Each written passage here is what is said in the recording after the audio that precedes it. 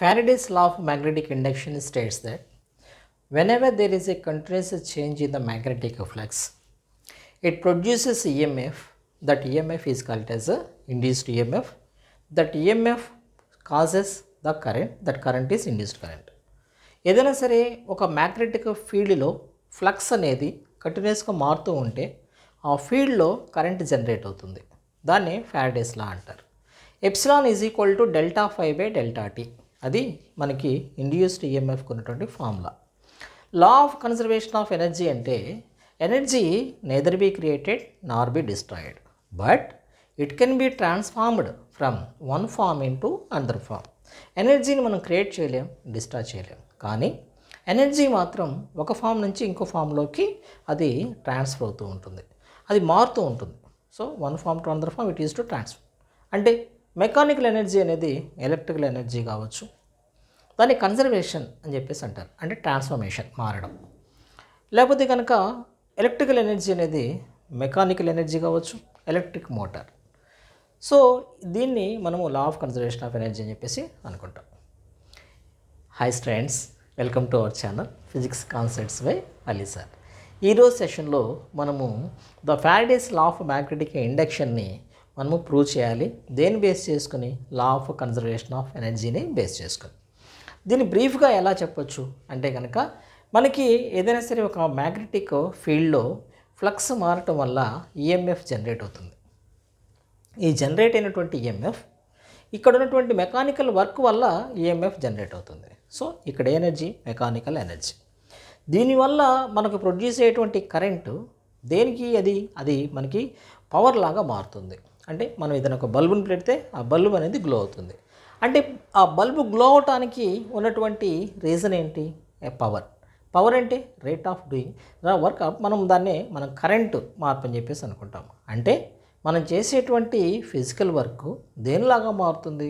ఇక్కడ కరెంట్ లాగా మారుతుంది. అంటే ఎలక్ట్రికల్ ఎనర్జీలా కన్వర్ట్ అవుతుంది. దీన్నే law of conservation of energy అని చెప్పేసి అనుకుంటారు. ఈ ఫ్యాడేస్ లా అనేది లా ఆఫ్ కన్జర్వేషన్ ఆఫ్ ఎనర్జీకి ఒక కన్సిక్వెన్స్ దాన్ని మనం ఇప్పుడు ప్రూవ్ చేయబోతున్నాం.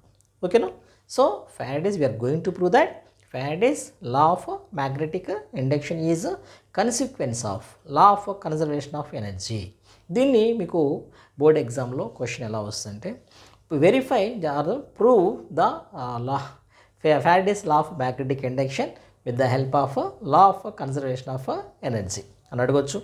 లేకపోతే కనుక how can you prove that Faraday's law of magnetic induction is a consequence of law of conservation of energy అని చెప్పేసి అడుగుతారు. దాన్ని మనం ఇప్పుడు చాలా సింపుల్గా ఒక యాక్టివిటీతో మనము ప్రూవ్ చేద్దాం. దానికోసం మొట్టమొదటి ఏం చేద్దామంటే ఇక్కడ ఏదైనా సరే ఒక మ్యాగ్నెట్ తీసుకుందాం. సో ఇది ఒక మ్యాగ్నెట్. దీనికి నార్త్ పోల్ సౌత్ పోల్ తీసుకుందాం. ఇక్కడ ఇంకొక మ్యాగ్నెట్ తీసుకుందాం. దీనికి ఆపోజిట్లో. సో ఇక్కడ దీనికేమో ఆపోజిట్ పోల్స్ పెట్టుకోండి. South pole north pole. అందువల్ల వీటి మధ్య ఎటు ఏం ఏర్పడుతుంది? ఎలక్ట్రిక్ ఫీల్డ్ అనేది ఏర్పడుతుంది. ఈ ఎలక్ట్రిక్ ఫీల్డ్లో దాన్ని మనం అనుకుంటాం? ఫీల్డ్ డెన్సిటీ అని చెప్పేసి అనుకుంటాం. ఆ ఫీల్డ్ డెన్సిటీ మనము బి అనే లెటర్తో ఎక్స్ప్రెస్ చేద్దాం. సో హియర్ ఆ తర్వాత మళ్ళీ మనము ఈ రెండింటి మధ్యలో ఏం చేద్దామంటే రెండు బేర్ కండక్టర్స్ తీసుకుందాం. బేర్ కండక్టర్స్ అంటే కనుక కండక్టర్ ఉంటుంది. కండక్టర్ అంటే the substance which allows electricity to pass through that generally all metals bare conductors అంటే కనుక మనము ఎప్పుడైనా సరే మనము హౌస్ హోల్డ్ పర్పస్లో వాడేటువంటి ఎలక్ట్రిక్ వైర్స్ చూస్తే వాటిపైన ఇన్సులేటర్ ఉంటుంది. ఇన్సులేటర్ లేకుండా ఉన్నటువంటి కండక్టర్స్ని బేర్ కండక్టర్స్ అంటే సింపుల్గా చెప్పాలనుకుంటే రెండు ఐరన్ రాడ్స్ తీసుకుందాం. బాగా థిన్ ఐరన్ రాడ్స్ని తీసుకుందాం. సో రెండు ఐరన్ రాడ్స్ని మనము ఇక్కడ ప్లేస్ చేద్దాం. సో ఇక్కడ ఒక ఐరన్ రాడ్ ఉంది ఇక్కడ ఒక ఐరన్ రాడ్ వీటి మధ్య డిస్టెన్స్ ఎల్ ఉండే విధంగా దాన్ని తీసుకోండి. రెండు ఐరన్ రాడ్స్ తీసుకుందాం. ఆ తర్వాత ఇక్కడ ఏం చేద్దామంటే ఇక్కడ మనకి ఇక్కడ గ్యాలోనోమీటర్ని ఒకటి ఫిక్స్ చేద్దాం. ఈ గ్యాలనోమీటర్ని ఇక్కడ ఫిక్స్ చేసినప్పుడు దీంట్లో మెజర్మెంట్స్ ఉంటాయి. ఆ తర్వాత ఇక్కడ నుంచి వచ్చేటువంటి గ్యాలోమీటర్కి ఇక్కడ ఈ వైర్ని ఇట్లా గ్యాలనోమీటర్కి మనము ఇక్కడ ఫిక్స్ చేద్దాం. ఇక్కడ గ్యాలనోమీటర్లో మనకి ఇక్కడ ఇండికేషన్స్ అనేవి ఉంటాయి. ఈ గ్యాలనోమీటర్ని జీ అన్నట్టుతో ఎక్స్ప్రెస్ చేస్తారు. ఆ తర్వాత ఇక్కడ మనకి మ్యాగ్నెటిక్ ఫీల్డ్ ఉంటుంది. ఓకే. ఇంతవరకు మనం తీసుకున్న తర్వాత మనం ఇప్పుడు ఒక సైడ్ వైర్ తీసుకుందాం. అది కూడా బేర్ కండక్టరే. అంటే సైడ్ వైర్ అంటే ఈ రెండింటిని కనెక్ట్ చేస్తూ మనము ఇక్కడ ఒక వైర్ తీసుకుందాం. దీన్ని సైడ్ వైర్ అని చెప్పేసి అనుకుందాం. ఓకే. ఇది మనకు కావాల్సినటువంటి ఆపరేటర్స్. మనము ఈ ఎక్స్పెరిమెంట్ చేయడానికి మనకు కావాల్సినటువంటి ఆపరేటర్స్ ఇది. ఇప్పుడు ప్రొసీజర్ ఏంటి? అంటే కనుక మొట్టమొదటి ఏం చేస్తామంటే ఇక్కడ ఉన్నటువంటి ఈ కాపర్ వై ఈ వైర్ని మెటల్ వైర్ని బేర్ కండక్టర్ని ఇక్కడ నుంచేసి మనము ఇక్కడికి మూవ్ చేస్తాం. ఇక్కడ నుంచేసి ఇక్కడికి మూవ్ చేస్తాం. మూవ్ చేసినప్పుడు ఏమవుతుంది? ఇక్కడ మనము ఈ కాపర్ వైర్ అనేది ఏంటి? ఇక్కడ వైర్ అనేది కండక్టర్ సో ఇక్కడ ఏ ఫీల్డ్లో ఉంది అది? మ్యాగ్నెటిక్ ఫీల్డ్లో ఉంది. మ్యాగ్నెటిక్ ఫీల్డ్లో మనం ఏదైనా సరే ఒక కండక్టర్ని మూవ్ చేస్తే అక్కడ ఈఎంఎఫ్ అనేది ప్రొడ్యూస్ అవుతుంది. ఆ ఈఎంఎఫ్ అనేది కరెంటు క్రియేట్ అవడానికి రీజన్ అవుతుంది. సో అక్కడ ప్రొడ్యూస్ అయినటువంటి కరెంటు ఇక్కడ గ్యాలోనోమీటర్కి ఉన్నటువంటి కనెక్ట్ చేయడం వల్ల గ్యాలోనోమీటర్లో మనకి డిఫ్లెక్షన్ తెలుస్తుంది. డిఫ్లెక్షన్ అంటే కనుక మెయిన్ పొజిషన్ వచ్చేసి అది లెఫ్ట్కి రైట్కి మారటాన్నే డిఫ్లెక్షన్ అని చెప్పేసి అంటారు. ఎప్పుడైతే ఇక్కడ ఉన్నటువంటి ఈ వైర్ని మనం ఇలాగే ఉంచితే దీంట్లో ఎటువంటి డిఫ్లెక్షన్ ఉండదు. అలా కాకుండా మనం కనుక దీ వైర్ని ఇక్కడ నుంచేసి మనం ఇట్లా తీసుకొచ్చామనుకోండి అప్పుడేమవుతుంది? ఇక్కడ కరెంటు జనరేట్ అవుతుంది. ఆ జనరేట్ అయిన కరెంటు కరెంటు జనరేట్ అయిందని మనకి ఎలా తెలుస్తుంది? ఇక్కడ గ్యాలనోమీటర్లో డిఫ్లెక్షన్ కనిపిస్తుంది. ఆ తర్వాత మన ఇటువైపు నుంచి ఇటువైపు తీసుకొస్తుంటే కనుక మనం పాజిటివ్ వర్క్ చేస్తున్నట్టు. ఎందుకని? ఇక్కడ ఉన్నటువంటి మనం స్టార్టింగ్లో ఉంటాం అక్కడ నుంచేసి మనం ఇట్లా తీసుకొస్తాం కాబట్టి అక్కడ కరెంట్ జనరేట్ అవడం ప్రారంభిస్తుంది. ఆ కరెంట్ జనరేట్ అయిన కరెంట్ ఎక్కువ అవుతూ ఉంటుంది కాబట్టి అప్పుడు మనం అనుకుంటామంటే ఇక్కడ పాజిటివ్ వర్క్ అని చెప్పేసి అనుకుంటాం. అప్పుడు డిఫ్లెక్షన్ అనేది ఇటువైపు ఉందనుకోండి. ఆ తర్వాత మళ్ళీ ఏమవుతుంది? మనం ఎప్పుడైతే ఈ కరెంట్ వైర్ ఇక్కడ నుంచి ఇక్కడ దాకా తీసుకొచ్చినప్పుడు డిఫ్లెక్షన్ ఇట్లా ఉంది. మళ్ళీ ఈ కరెంట్ వైర్ని ఇక్కడ నుంచేసి ఇక్కడ దాకా తీసుకొచ్చాం అనుకోండి ఈసారి డిఫ్లెక్షన్ ఏమవుతుంది? ఇటువైపు షిఫ్ట్ అవుతుంది.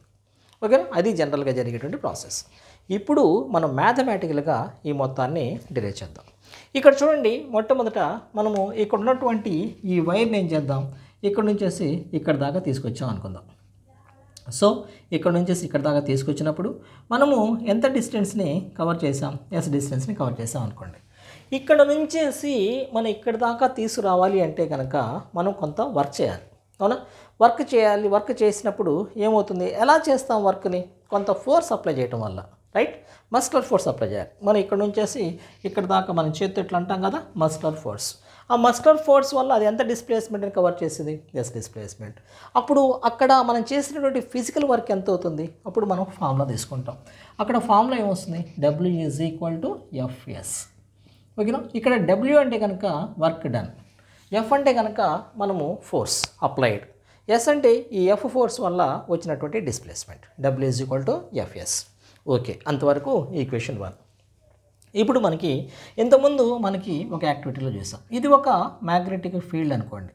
ఈ మ్యాగ్నెటిక్ ఫీల్డ్లో మనం కనుక ఏదైనా సరే ఒక కరెంటు ఒక వైర్ని ప్లేస్ చేసి దాని గుండా కరెంటు పంపించినప్పుడు ఆ వైర్ ఏమవుతుంది? ఇట్లా డిఫ్లెక్ట్ అవుతుంది. అంటే ఈ వైర్ మీద కొంత ఫోర్స్ అనేది అప్లై చేస్తుంది. కొంత ఫోర్స్ అనేది అప్లై చేయటం వల్ల కొంత ఫోర్సు ఈ wire current carrying wire once when it is placed in the magnetic field that current wire experiences some force ఎంత ఫోర్సు ఇక్కడ ఉన్నటువంటి ఈ కండక్టర్ యొక్క లెంగ్త్ ఆ లెంగ్త్ ఆ తర్వాత దీంట్లో ట్రావెల్ చేస్తున్నటువంటి కరెంటు ఆ తర్వాత దీంట్లో ఎంతైతే కరెంట్ ట్రావెల్ చేస్తుందో ఆ కరెంటు ఆ తర్వాత ఇక్కడ ఉన్నటువంటి ఇక్కడ మ్యాగ్నెటిక్ ఫీల్డ్ ఇంటెన్సిటీ బి ఈ మొత్తం ప్రోడక్ట్కి ఇక్కడ ఉన్నటువంటి ఫోర్స్ అనేది ఈక్వల్ అవుతుంది. అంటే F is equal to BIL మరి ఇదే ఫార్ములాని ఇక్కడ అప్లై చేయొచ్చా మనం? అంటే అప్లై చేయొచ్చు. ఎలా అప్లై చేయొచ్చు? అసలు మొట్టమొదట ఇక్కడ ఉన్నటువంటి కరెంటు ఇక్కడ మనం తీసుకున్నటువంటి వైర్కి కరెంట్ ట్రావెల్ అవుతుందా? అబ్సల్యూట్లీ కరెంట్ ఈజ్ ట్రావెలింగ్ ఎలా చెప్పొచ్చు? ఇక్కడ మనము ఎలక్ట్రిక్ ఫీల్డ్లో సారీ మ్యాగ్నెటిక్ ఫీల్డ్లో మనం ఈ కా వైర్ని తీసుకున్నాం. ఈ వైర్ని తీసుకొని ఇక్కడ నుంచి ఇక్కడ షిఫ్ట్ చేయడం వల్ల దాంట్లో ఈఎంఎఫ్ అనేది జనరేట్ అవుతుంది. ఆ ఈఎంఎఫ్ జనరేట్ అయినటువంటి ఈఎంఎఫ్ కరెంట్ని ప్రొడ్యూస్ చేస్తుంది. ఆ కరెంట్ ప్రొడ్యూస్ చేసినప్పుడు ఏమవుతుంది? ఇక్కడ ఉన్నటువంటి కరెంట్ వల్ల ఈ ఇప్పుడు అంటే ఈ వైర్కి ఇప్పుడు కరెంట్ ఉన్నట్టు కదా? ఆ కరెంట్ అనేది దేంట్లో ఉంది? మ్యాగ్నెటిక్ ఫీల్డ్లో ఉంది. అందువల్ల మ్యాగ్నెటిక్ ఫీల్డ్ అనేది దాని మీద కొంత ఫోర్స్ పనిచేస్తుంది. ఆ ఫోర్స్ ఎంత అవుతుంది? ఎఫ్ అనే ఫోర్స్ అవుతుంది. ఓకేనా సో ఈ ఫోర్స్ ఎటువైపు పనిచేస్తుంది? మనకి ఫ్లెమింగ్స్ రైట్ హ్యాండ్ రూల్ ప్రకారం ఇప్పుడేమవుతుంది ఇక్కడ ఉన్నటువంటి ఈ ఫోర్స్ మనం ఫో అప్లై చేస్తున్నటువంటి ఫోర్స్ ఏమో ఇక్కడ మనం అప్లై చేస్తున్న వర్క్ ఈ విధంగా ఉంటుంది. అయితే ఇది మనకు జనరేట్ అవుతున్న ఫోర్స్ ఏమో దీనికి ఆపోజిట్లో ఉంటుంది. ఎందుకంటే మనం చేస్తుంది పాజిటివ్ వర్క్ కాబట్టి ఈ వర్క్కి ఆపోజిట్లా అటు పనిచేస్తుంది. అప్పుడు ఎంత వస్తుంది అప్పుడు వచ్చేటువంటి ఫోర్స్ ఎంత అవుతుంది? ఎఫ్ ఈజ్ ఈక్వల్ టు మనము బిఐఎల్ అని చెప్పేసి మనం తీసుకోవచ్చు. సో ఇప్పుడు డబ్ల్యూ ఈజ్ ఈక్వల్ టు ఏమవుతుంది? ఎఫ్ఎస్ ఎఫ్ బదులుకి ఎంత రాసుకోవాలి? BILS W is equal to దీన్ని ఏమంటాం? మనము థర్డ్ ఈక్వేషన్ చెప్పేసి అనుకుందాం. ఇక్కడ ఇంకొక విషయం మనం ఇప్పుడు చూద్దాం. ఎప్పుడైతే మనము ఇక్కడ నుంచేసి ఇక్కడ నుంచేసి ఈ సెగ్మెంట్ దగ్గర నుంచేసి ఈ సెగ్మెంట్ దగ్గర తీసుకుంటే దీన్ని మనం ఏమనుకుంటాం? అంటే కనుక మ్యాగ్నెటిక్ ఫ్లక్స్ అని చెప్పేసి అనుకుంటాం. ఈ మ్యాగ్నెటిక్ ఫ్లక్స్ అనేది ఇక్కడ నుంచి ఇక్కడ దాకా రావటం వల్ల మ్యాగ్నెటిక్ ఫ్లక్స్ అనేది మారుతుంది కదా తగ్గిపోతుంది. ఎందుకని? అది ఆక్యుపై చేస్తున్నటువంటి ఎలక్ట్ మ్యాగ్నెటిక్ ఫీల్డ్ అనేది తగ్గిపోతుంది. ఇక్కడేమో మ్యాగ్నెటిక్ ఫీల్డ్ చాలా ఉంది. ఇక్కడ నుంచి ఇక్కడ దాకా వచ్చినప్పుడు ఇక్కడ మ్యాగ్నెటిక్ ఫీల్డ్ ఇంతే ఉంది. అందువల్ల మ్యాగ్నెటిక్ ఫీల్డ్ అనేది తగ్గిపోతుంది. దేని టైం దేని బేస్ చేసుకుని తగ్గిపోతుంది అది? మనం ఇక్కడ నుంచి ఇక్కడ దాకా తీసుకొస్తున్నప్పుడు ఇక్కడ టీ టైం అన్నాం అనుకోండి ఇక్కడ మనకి టీ వన్ వచ్చింది అనుకోండి అప్పుడు ఆ టైం ఫ్రేమ్లో అది మారిపోతుంది. అంటే అప్పుడు మనం దాన్ని ఏమని తీసుకుంటాం? Magnetic flux is equal to ఇక్కడ మ్యాగ్నెటిక్ ఫ్లక్స్ అనేది మనకి ఎక్కడి నుంచి ఎక్కడికి మారుతుంది? ఇక్కడ నుంచేసి ఇక్కడ దాకా మారుతుంది? అప్పుడు మనము దాన్ని మనం ఎలా తీసుకోవాలి? మ్యాగ్నెటిక్ ఫ్లక్స్ అనేది చేంజ్ అవుతుంది. ఈ చేంజ్ అయినటువంటి మ్యాగ్నెటిక్ ఫ్లక్స్ ఎంత అవుతుంది? డెల్ ఇక్కడ మనకి delta phi is equal to delta phi is equal to మనకి ఫార్ములా ఏముంది? Magnetic flux phi is equal to ఇక్కడ ఉన్నటువంటి మ్యాగ్నెటిక్ ఫీల్డ్ ఇండక్షన్ బి ఆ తర్వాత area of cross section B into A అవుతుంది.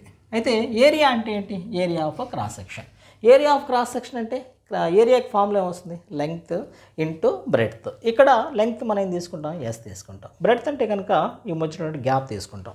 అందువల్ల మనకి అప్పుడు ఫామ్లో ఏ బదులుగా మనం ఏం రాసుకోవాలి? A is equal to L into S అని రాసుకోవాలి.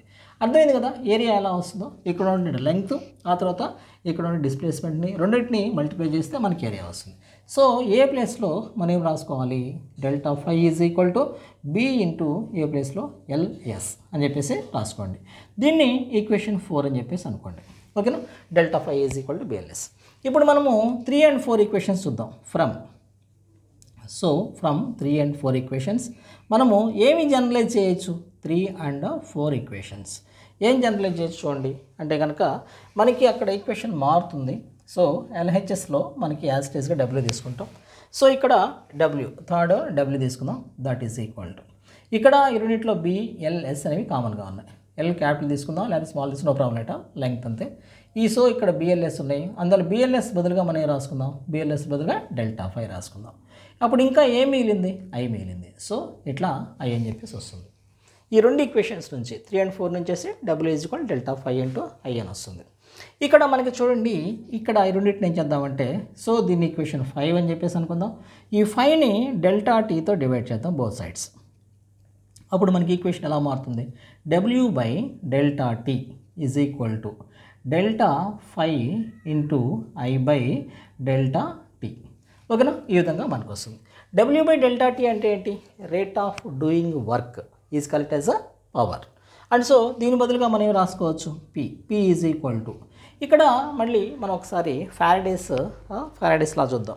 What is a Faraday's law whenever there is a continuous change in the magnetic flux that produces EMF that EMF is equal to rate of change of magnetic flux ఆ magnetic ఫ్లక్స్ని మనము మనము ఎట్లా మనం ఈఎంఎఫ్ని ఏ letter express చేస్తాం? Epsilon epsilon is equal to ఏమవుతుంది formula మనం ఇంతకుముందు ఫ్యారడేస్ లాలో చూసాం.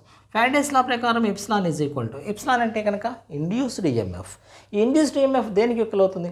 Rate of change of magnetic flux అంటే రేట్ ఆఫ్ రేట్ ఎప్పుడైతే రేట్ అనే వర్డ్ వస్తుందో డెల్టా టీ అని రాసుకుంటాం కదా rate of change of magnetic flux rate అంటే కనుక డెల్టా టీ చేంజ్ అంటే డెల్టా మ్యాగ్నెటిక్ ఫ్లక్స్ అంటే ఎఫ్ఐ ఈ మొత్తం దేనికి ఈక్వల్ అవుతుంది? ఇండ్యూస్డ్ ఈఎంఎఫ్కి ఈక్వల్ అవుతుంది. అంటే దీని బదులుగా మనం ఏం రాసుకోవచ్చు? ఎప్సిలాన్ అని చెప్పేసి రాసుకోవచ్చు. ఎప్సిలాన్ ఐ సో ఇక్కడ ప్రొడ్యూస్ అయినటువంటి కరెంట్ ఎప్సిలాన్ ఐ లేకపోతే ఐ ఎప్సిలాన్ ఇది అనమాట సో ఇక్కడ ప్రొడ్యూస్ అవుతున్న కరెంటు ఇక్కడ పవర్ దేనికి ఈక్వల్ అవుతుంది? ఎప్సిలాన్ ఐ అంటే దీని మీనింగ్ ఏంటి? అంటే కనుక మనకి ఇక్కడ ప్రొడ్యూస్ అవుతున్నటువంటి మనం చేసేటువంటి ఫిజికల్ వర్క్ వల్ల జనరేట్ అయ్యేటువంటి పవరు అది దేనికి ఈక్వల్ అవుతుంది? అది దేని దాకా మారుతుంది? అది ఎలక్ట్రికల్ ఎనర్జీ లాగా మారుతుంది. అందువల్ల మనము ఇక్కడ ప్రొడ్యూస్ డిఎంఎఫ్ దేనికి దేని ఏ విధంగా మారుతుంది? ఫిజికల్ వర్క్ అనేది. మనం చేసినట్టు మెకానికల్ వర్క్ ఆ మెకానికల్ వర్క్ దేనిగా మారుతుంది? ఎలక్ట్రికల్ వర్క్ గల మారిపోతుంది. సో దాన్ని మనం పవర్ అని చెప్పేసి అనుకుంటాం. అంటే మనం ఇక్కడ ప్రొడ్యూస్ ఇక్కడ ఎప్పుడైతే ఎక్కడైతే మనం మెకానికల్ వర్క్ చేస్తామో ఇక్కడ అది దేనిలాగా మారిపోతుంది? ఎలక్ట్రికల్ వర్క్ లాగా మారుతుంది. ఇక్కడ చూడండి mechanical work is changing in to the the electrical work so ఇట్లా ఎనర్జీ అనేది కన్సర్వ్ అయింది కదా? దేని బేస్ చేసుకుని కన్వర్ట్స్ కన్సర్వ్ అయింది.